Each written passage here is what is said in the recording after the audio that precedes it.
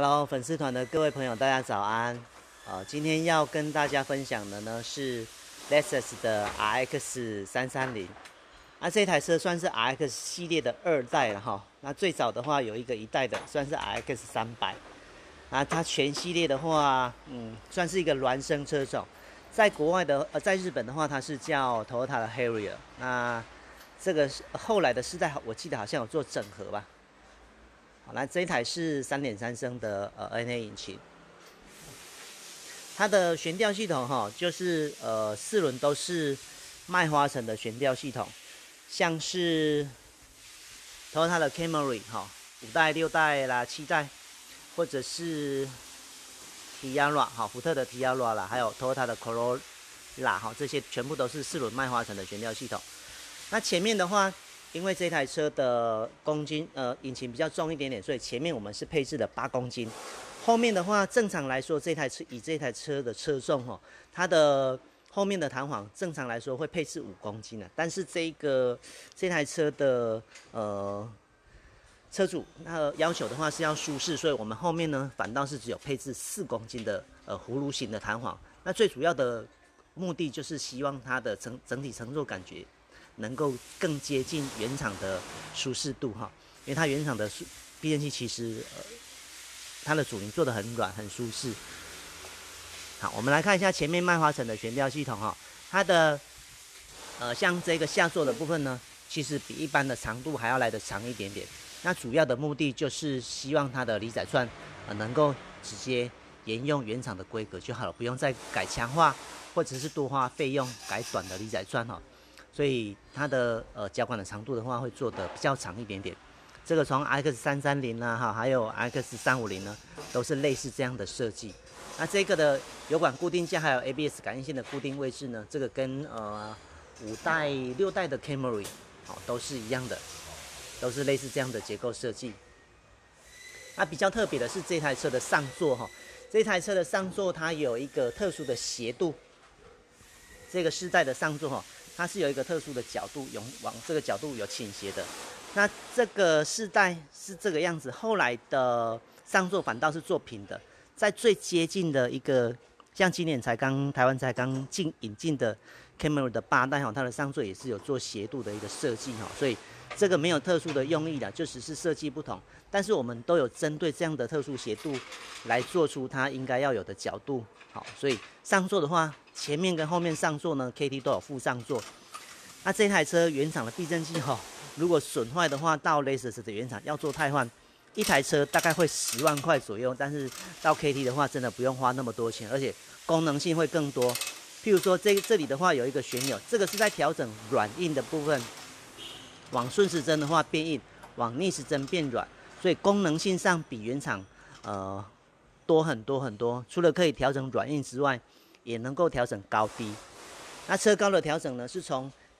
它的整体长度来改变它的车高哈，所以功能性高，然后日后又可以维修，单价的话大概只有原厂的四分之一，所以呃也很谢谢很多的 RX 的三三零三五零的车友在呃粉丝团里面帮我们推荐哈，像今天来的这一位车友，也是因为车友的推荐才来安装 KT 的产品，因为有刚好有同行的车友帮我们在网络上分享，所以。车友看到之后呢，就来了解产品，就过来安装哈。谢谢大家帮我们 推荐分享，因为 KT 在台湾其实很少在打广告啦，都是很需要各位车友呢使用觉得不错之后再多多帮我们分享。好，那我们再回到这个弹簧，前面刚有提到了哈，它的是八公斤，而且有特别把它的长度呢拉长两公分。那拉长两公分的最主要的目的性就是希望它的做动行程呢能够再做的长一点点。呃，简单来说就是希望更舒适好坐，所以它的前面的弹簧是两百二十长。那它的阻尼油，我们是用意大利 IP 的阻尼油，这个是一整桶从意大利进口的呃油品，所以它的稳定度哦，还有整体的表现呢都相当的稳定。那刚刚提到过的，它的前面上座有一个斜的上座，斜的上座这里有一颗止推轴承，这个轴承，这个我们所附的轴承呢，它的轴承是呃。日本口有的轴承，所以我们的用料都相当的不错，而且桶身里面的油封呢，使用的是日本 NOK 的油封。好，和阿这边，OK 了，前面 OK 了。好，我们来看一下后面好了，因为师傅安装好了，刚刚是在等我直播，刚刚在忙哈。那我们来看一下后面的部分，它原厂已经都前面，哎，这都前面的哈。好，前面两只都已经漏油漏的蛮严重哈。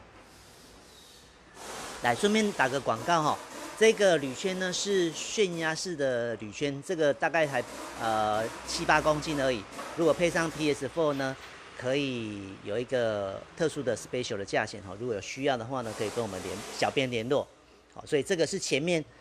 两只变线器都已经损坏了，这个是后面的变线器，所以它的前面跟后面的变线器的体积都蛮大的哈。这个是前后麦花臣的。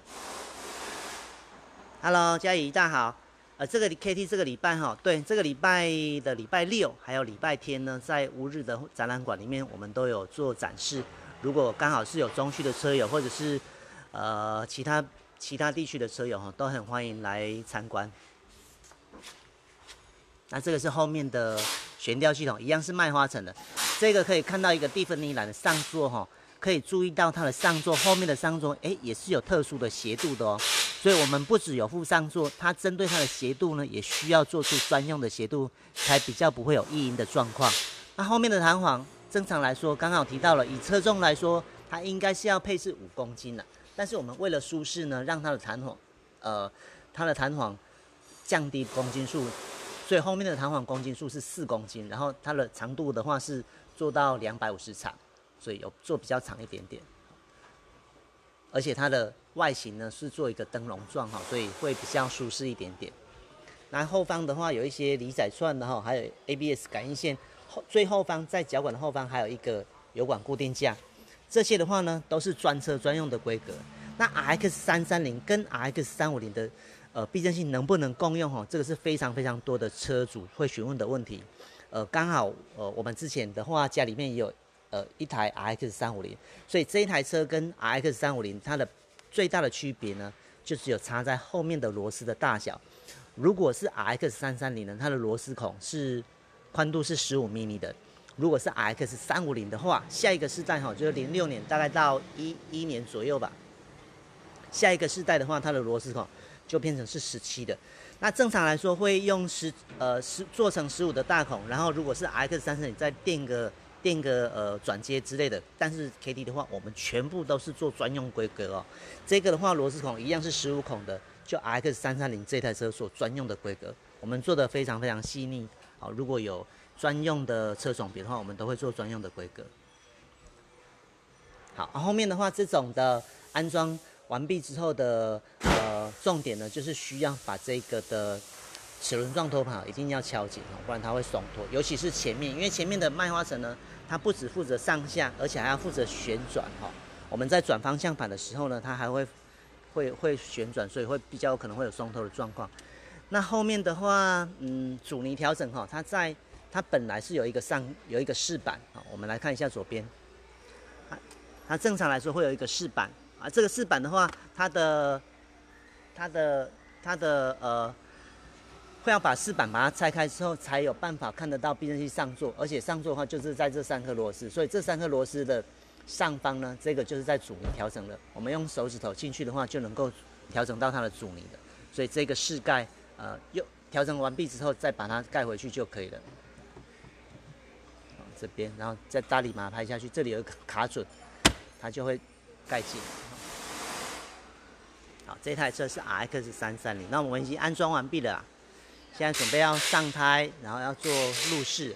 车高的部分的话，会比原厂略低个大概两指幅，一指半到两指幅左右，因为这台车毕竟是修理车啦，所以大多数的车主呢不会要求要降很低哈。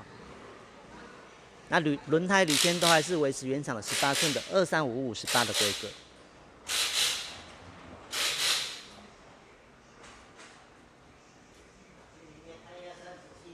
三七后，